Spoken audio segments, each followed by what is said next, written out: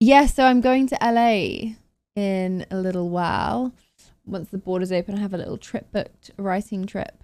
I'm going to LA and I'm going to Vegas. Eep. Writing LA seems so big time. I know, right? I'm so excited.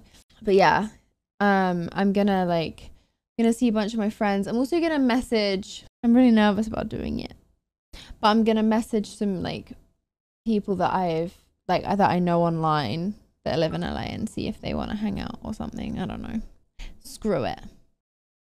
Very exciting times. I'm so excited.